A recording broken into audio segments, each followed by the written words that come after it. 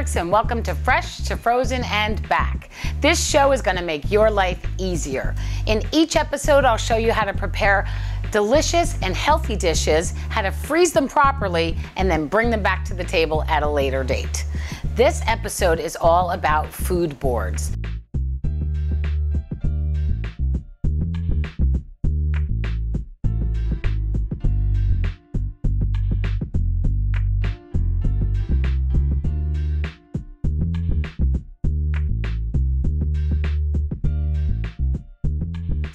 I'm sure you've seen cheese and meat boards, dessert boards, they're kind of all the rage right now, but it's so easy to do it yourself at home. So I wanted to show you some of my favorite boards. So we're gonna start with a lox and bagel board. And the key is to choose whatever you want to serve it on. I like um, cutting boards and wood boards. I also have slate here. Whatever you have at home, you can use ceramic boards or anything that you like, platters, but it's just such an easy way to present your food and make it more fun and exciting.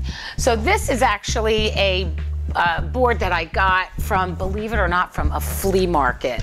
I love it. And I always use this for my lox board. I love the way it looks and it's really great. It's also good for like a raw bar board. So what I'll do is I'll put like I'll shuck some clams and put some shucked clams on the half shell with some cooked shrimp, some cocktail sauce. That's another idea that you can do. So for this one, I'm doing lox and bagels. I love it. It's great for Sunday, anytime. If you have a couple people over, you just break out a nice, either, or even just any old plain cutting boards that you have, and then it's just a really beautiful way to present it. Okay, so the first thing is when you're doing a board, you want to think of a couple of things. You want to think of like leveling, like some things a little higher than others. I'm not a big one for lining everything up in a perfect straight line. Maybe mess up something, pile things. And also when you have colors, like if you have you know, two red things next to each other. You don't want that. So if you have like strawberries and tomatoes, which you probably wouldn't have on the same board, but if you had strawberries and tomatoes, you would, or peppers, let's say a red bell pepper and tomatoes. Put the red bell pepper on one side and the tomatoes on the other. So break up the color, add some levels, and theme it. It's always fun to do a theme. So you can do any type of theme that you want. You could even do like a s'mores board. So there's the possibilities are endless. So simple enough with the lox and bagel board. So here's the, the things that I love and my family loves on lox and bagels. So the one thing is we I always put a little bit of butter because you're serving bagels and people like butter on their bagels. So some butter and some cream cheese. So I have these in a little bit of a taller glass. So I'm gonna kind of put these on opposite ends of the board. Then I have some sliced tomatoes. So you just slice your tomatoes nice and thin, and I like to fan them out. So instead of going straight, maybe I'll kind of curl them this way. And some sliced red onion. I love red onion on um, my lox and bagels. Now, instead of lining them up like this, because there's not a chance that anyone's gonna take this whole thing. So what I like to do is kind of break up the onion so that when you grab it, you're not grabbing the entire onion, so you're only grabbing like a piece. So I'll do the onion in kind of like a little pile like that. I love that. And then lemon. You can't have a lox and bagels, I can't, without lemon. So what I'm gonna do is kind of scatter the lemon throughout so that your guests can just grab one from anywhere they see them. So I'll move this in and maybe put two over here, maybe pile them on top of each other and then kind of stick maybe one right here, these two right here. And then we'll kind of build around that. We've got the onion, the tomato, the lemon, the butter, and the cream cheese. Now, I also like cucumber on my lox and bagel platter. I like it because it gives it a nice crunch. So what I'm gonna do is I'm gonna kind of pile that. So obviously your hands are washed first. So I'm gonna take my cucumber and put it in like a little bit of a, almost like a little triangle and then do the same thing you want to be able to make sure that your guests can grab things very easily. And that's why we're going to put some tongs on there too. So this is going to give it a little height in that corner. So we're going to do that with the cucumber. Capers. My family, we can't have lox and bagels without capers. It is so like essential. So what I'll take is like a cute little ramekin and then put these capers in there. And it looks really pretty. Maybe I'll nestle that over by the lemon. And what I'll do is I'll take little spoons. So you want a little spoon so that your guests can grab whatever they're, you know, whatever they want. They want to have a spoon. And here's like a little spreading knife that you'll, I'll stick right into the butter and into the cream cheese. Um, black pepper, absolutely necessary when it comes to lox and bagels. So what I'll do is I'll just kind of set that on the side. Now last but definitely not least, we're gonna do the lox the smoked salmon. You can do smoked trout, whiting, whatever you like.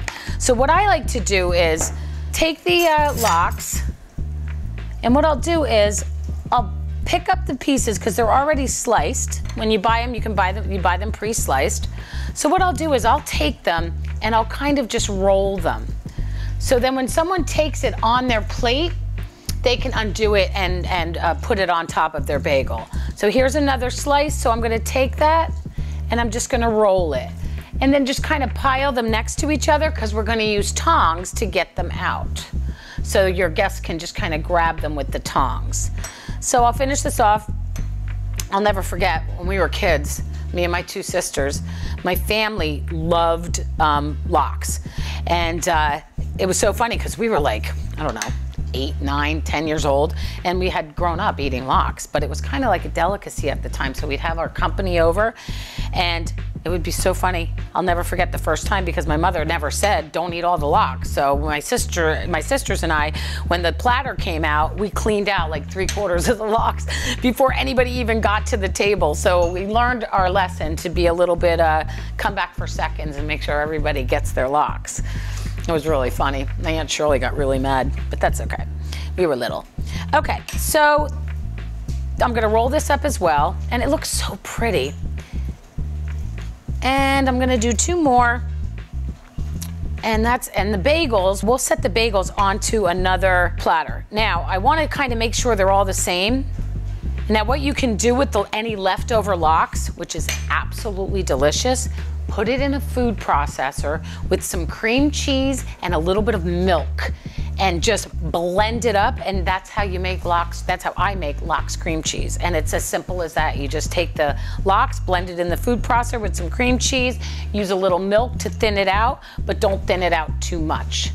Now this makes such a nice presentation. So i'll take this black pepper and just put it right on top of the lox that's really coarsely ground Oh my gosh, it looks so good. And then when you serve it, you're just gonna serve it like this. And you're gonna take your, oh, and I have a little bit of any fresh herbs that you have. Here's some fresh thyme that I had from my garden. That always looks pretty, so I'm gonna kind of set that right there. And then for the bagels, I'll just take another cutting board and just kind of lay the bagels across the cutting board. And then you just serve the bagels with the black pepper next to the lox and there's your beautiful lox platter.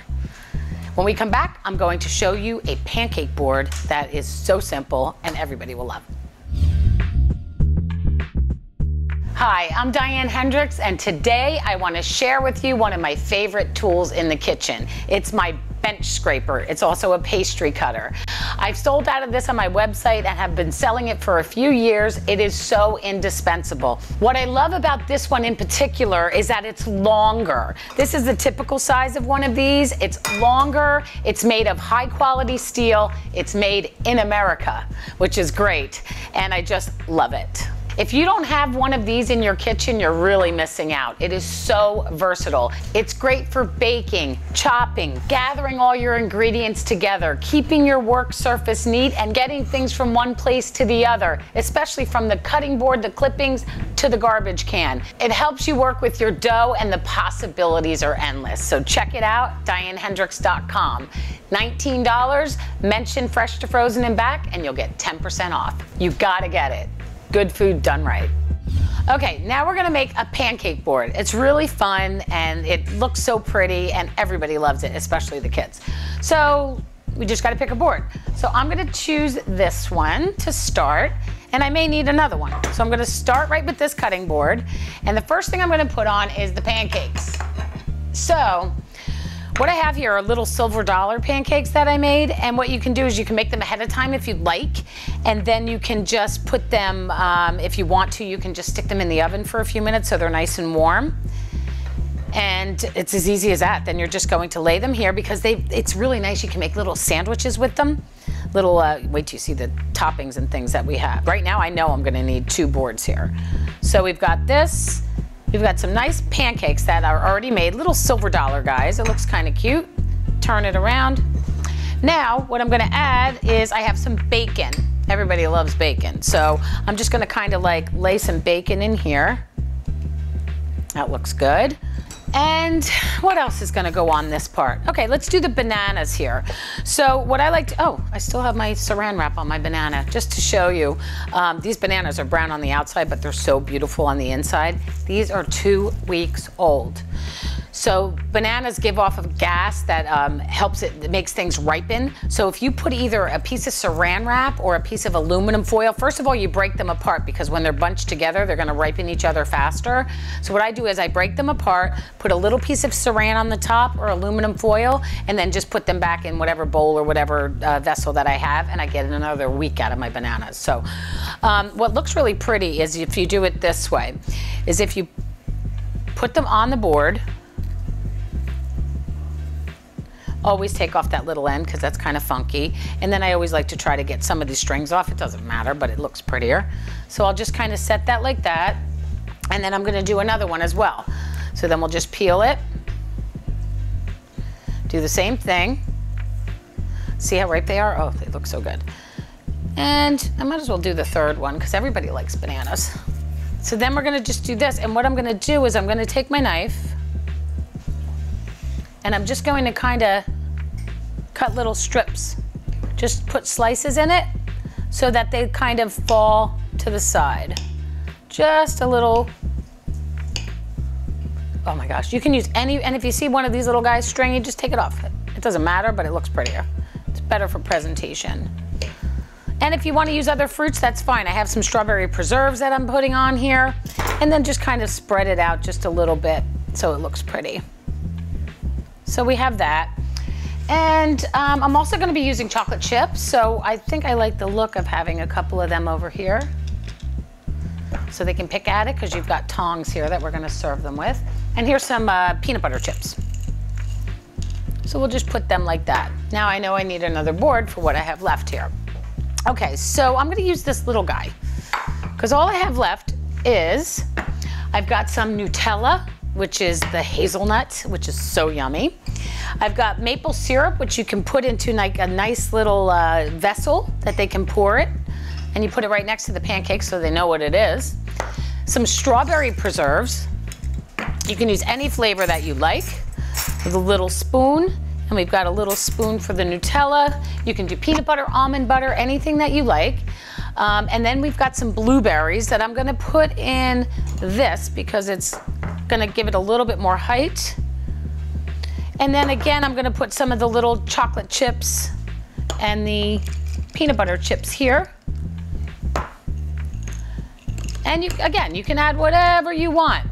And that's as simple as that. So when you, when your guests or you take it, you're gonna take one, put maybe some Nutella on it, add a little peanut butter chips, maybe a little bit of strawberry, put another lid on it, and you have yourself like a little sandwich. But this is a beautiful way for a brunch presentation or just a quick, if somebody comes over, you just do a quick batter of pancakes, make little silver dollars, and pull out whatever you have in your refrigerator. And it's as simple as that. When we come back, I'm gonna show you a meat and cheese board and a dessert board that's gonna knock your socks off. Okay, now a meat and cheese board. We've all heard of them. You can purchase them. They can get very, very expensive, but it's so simple to do at home and it's really fun. And you're showing your guests that you care. So what I'm gonna do is I'm gonna use these two boards. You can pick, like I said before, anything that you want. I also have slates, which I'm gonna do the dessert board on. It's really cool. Okay, so let's do the cheeses on here. So here I have Manchego, which I love. It's a Spanish cheese. And I'm gonna put, you I like to shred a little bit of these types of cheeses so that your guests can take them on their own. Um, I have brie.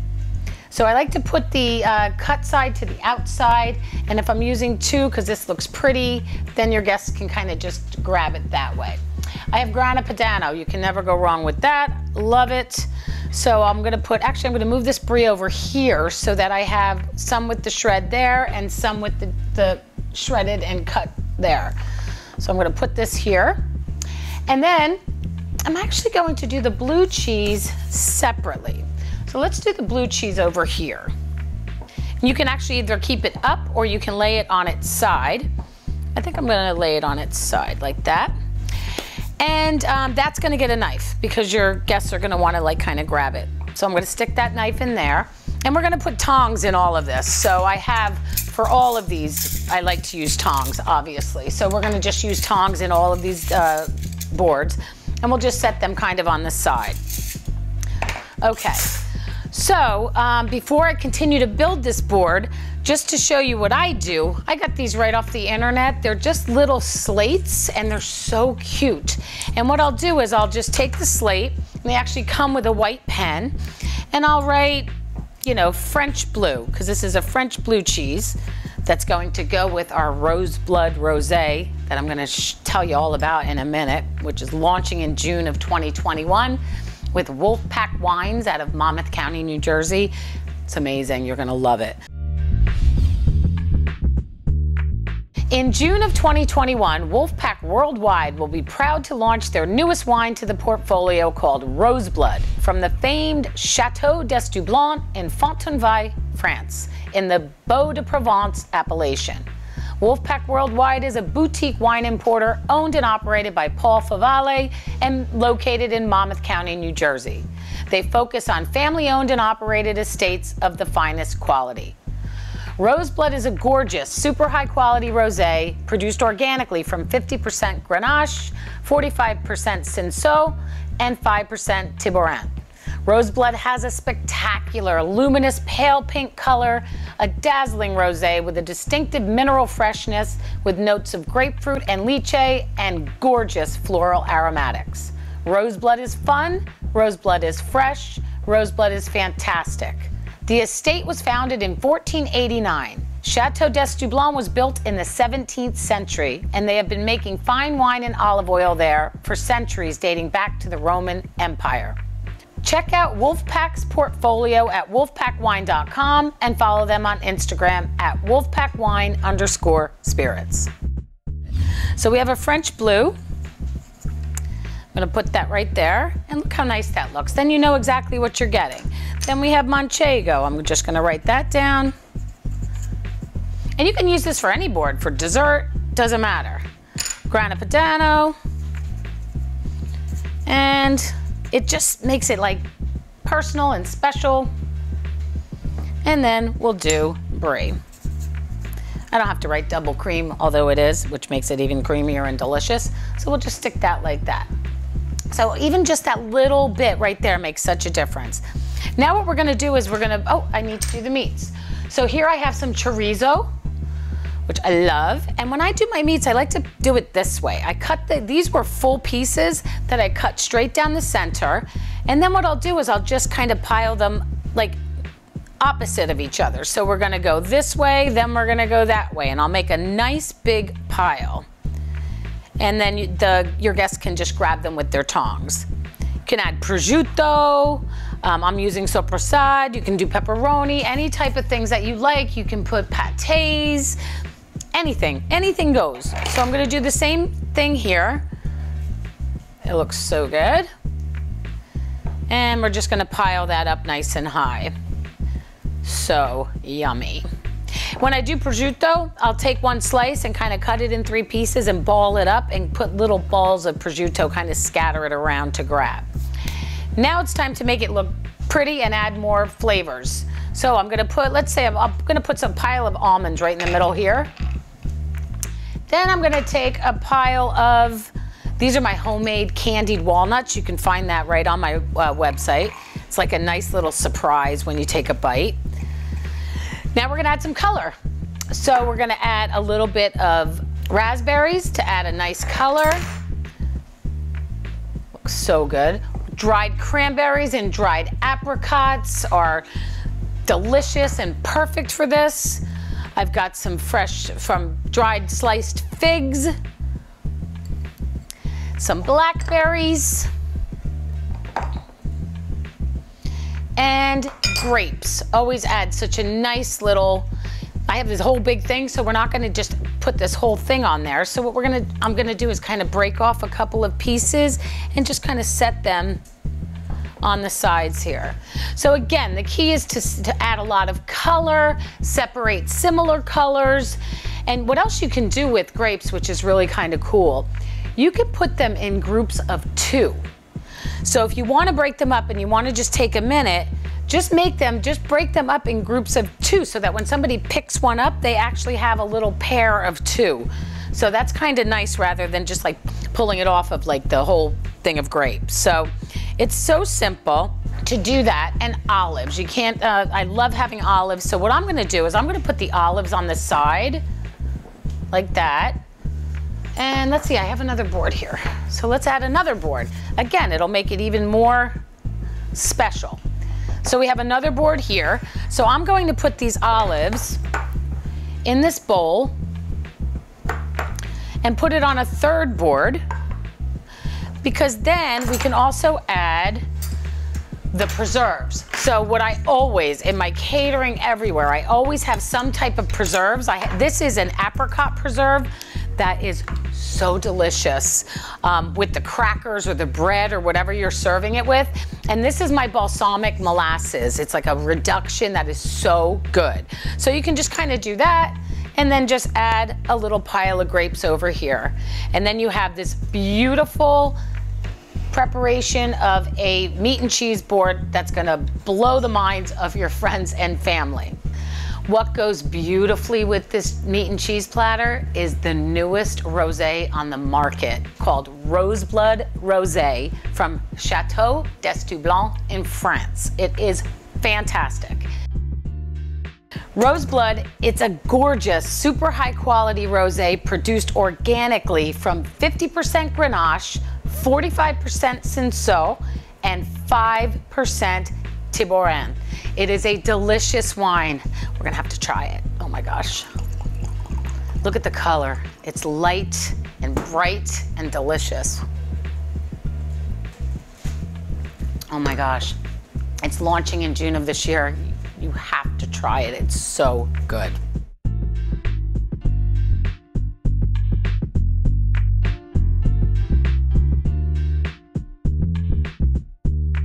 Okay, for sake of time, I put the dessert board together already for you. It's simple, whatever you have in the house, or just a quick run to the store. Here I have some meringue, some Hershey Kisses, mini muffins, marshmallows, dried pineapple, any type of dried fruit is great, dried apricots, candied walnuts that I actually used on the meat and cheese board, fresh fruit, cookies, and what I love is these little pretzel sticks that you can dip in either caramel or chocolate syrup. And I always like to add little individual mints in case anybody wants a little fresh breath at the end. Okay, now let's talk about freezing. Almost all this stuff freezes great. These candied walnuts are from my catering company. So if you ever need catering in the tri-state area, please look me up. Diane at dianehenderiks.com. Check out my website and my social media at Diane Henderiks. Um, the muffins freeze great. The meringues, uh, just about everything on this table freezes great. Just put them in all airtight, freezer safe containers. When it comes to the meats and cheeses, blue cheese doesn't really freeze that great and neither does the brie. The Grana Padano freezes beautifully and so does the Manchego. All nuts can go in the freezer. It actually extends their shelf life. The meats, these were previously frozen. Very simple, stick them right in a freezer safe bag. Olives, no. Oh my gosh, the uh, preserves, any type of preserves freezes great. Pancakes, perfectly. Bacon, anytime you cook bacon, cook a lot of it, freeze it, take it right out of the freezer. It's perfect. The meats, these were already frozen, and the preserves all freeze beautifully. And for this dessert platter, this Roseblood Rosé is perfect. So it's a nice after dinner dessert pairing rosé as well. So please share this episode with those that you love. Follow me on social media at, at Diane Henderiks on YouTube and Instagram, Facebook, all of that. Tune in next time, and I look forward to seeing you.